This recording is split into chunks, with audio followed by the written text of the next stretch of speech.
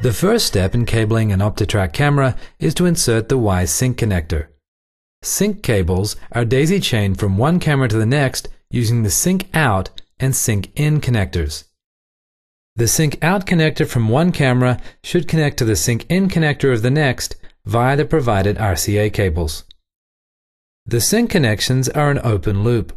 There should be nothing connected to the sync in connector of the first camera and there should be nothing connected to the sync out connector of the last camera. Note that cameras are numbered based on their order in the sync chain. Next, connect one of the provided high-quality USB cables into the side of the camera. Finally, make sure you add strain relief to the cables to protect the camera and its connectors from direct tension. Leave enough slack above the strain relief to allow for manipulation of the camera mount during aiming.